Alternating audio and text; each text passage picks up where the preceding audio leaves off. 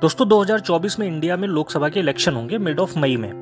अब दोस्तों, उस टाइम कंपटीशन बहुत तगड़ा होगा, चाहे कांग्रेस हो, बीजेपी हो, या आम आदमी पार्टी, या अदर रीजनल पार्टीज़ काफ़ी अच्छी टक्कर देंगी आपस में। और दोस्तों, जहाँ तक उम्मीद है कि 2024 के लोकसभा इलेक्शन में सीधी लड़ाई होगी एनडीए यानी बीजेपी और उसके संगठन जो है, साथी संगठन उनके बीच, और महागठबंधन के बीच। महागठबंधन में कांग्रेस, आरजेडी, सपा एंड मायावती और हो सकता है ममता बनर्जी इनको ज्वाइन करें, आम आदमी पार्टी भी हो सकता है इनको ज्वाइन करें तो ये सीधी टक्कर होगी।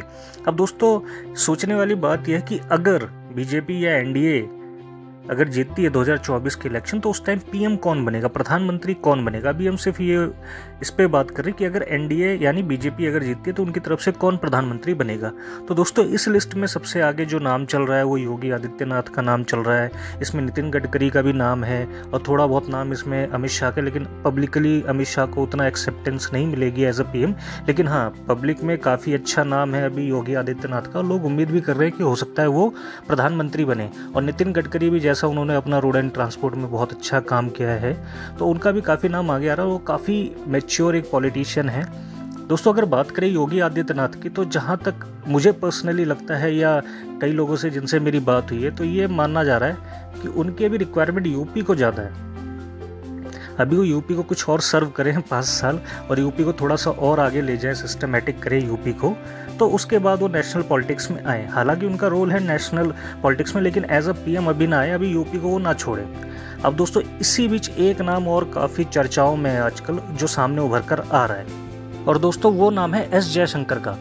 दोस्तों, एस जयशंकर अभी करेंटली हमारे फॉरेन मिनिस्टर हैं और आप लोग आए दिन इनको टीवी पे देखते होंगे, इनको बोलते हुए और कैसे ये लोग सामने वाली पार्टी यानी जो सामने वाली कंट्री के रिप्रेजेंटेटिव हैं, उनको कैसे आड़े हाथों लेते हैं? दोस्तों, एस जयशंकर जाने जाते हैं। फॉर्मली ये पहले इंडिया में फॉरेन सेक्रेटरी थे जब सुषमा स्वराज फॉरेन मिनिस्टर थे इंडिया की फ़र्स्ट टेन्योर जब मोदी जी की गवर्नमेंट थी, उस टाइम ये फॉरेन सेक्रेटरी थे। उससे पहले ये इंडियन फॉरेन सर्विसेज़ में रह चुके हैं।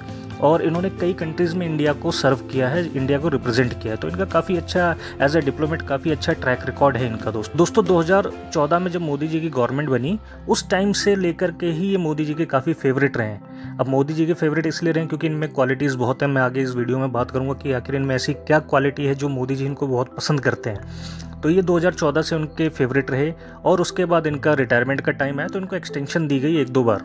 लेकिन दोस्तों फाइनली ये 2018 में रिटायर हुए इंडियन फॉरेन सर्विसेज़ से।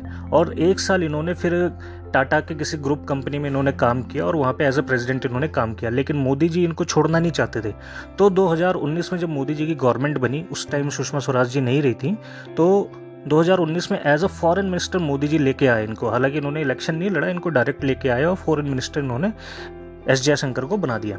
अब दोस्तों, जब से ये फॉरेन मिनिस्टर बने हैं ये अपने भाषणों के लिए जाने जाते हैं और जो इंडिया के जियो पोलिटिकली अभी एक स्ट्रांग पोजिशन बनी है पूरे वर्ल्ड में, वो हर किसी ने देखा है। दोस्तों, चाहे वो यूक्रेन रशिया का वॉर हो यूक्रेन रशिया के वॉर में वेस्ट ने, जो वेस्ट कंट्रीज़ हैं, चाहे अमेरिका यूरोपियन यूनियन यूके सबने कितना प्रेशर बनाया इंडिया पे कि भाई आप रशिया के अगेंस्ट बोलो, रशिया से ऑयल मत परचेज़ करो, आप हमारे साथ आके खड़े हो, आप लोग हमारा सपोर्ट नहीं करते। लेकिन नहीं दोस्तों, इन्होंने इस प्रेशर को ऐसे कंट्रोल किया, उसको एब्जॉर्व किया और वेस्टर्न कंट्रीज़ को एक शीशा दिखाया कि भाई अगर हम रशिया से तेल खरीदते हैं तो सबसे ज़्यादा अगर कोई रशिया का तेल खरीदता है या गैस खरीदता है तो यूरोप है।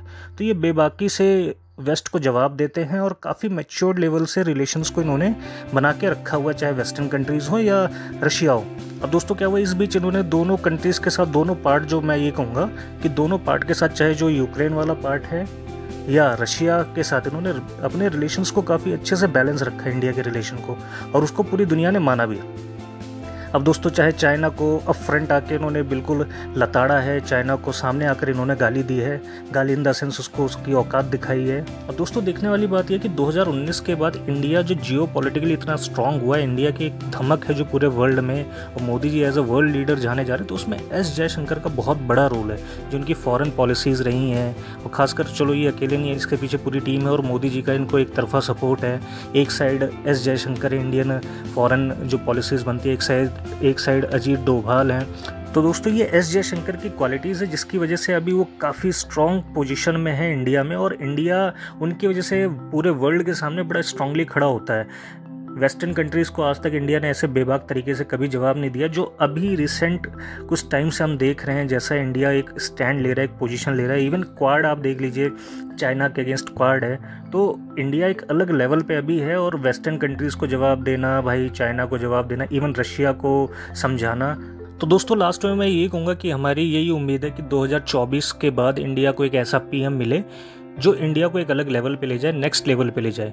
तो दोस्तों, इसी के साथ मैं इस वीडियो को समाप्त करता हूँ। और आप किसको एज अ पीएम देखना चाहते हैं 2024 के बाद, मुझे कमेंट करके इस वीडियो में ज़रूर बताइए। थैंक यू दोस्तों। इस वीडियो को लाइक करिए शेयर करिए और हमारे चैनल को सब्सक्राइब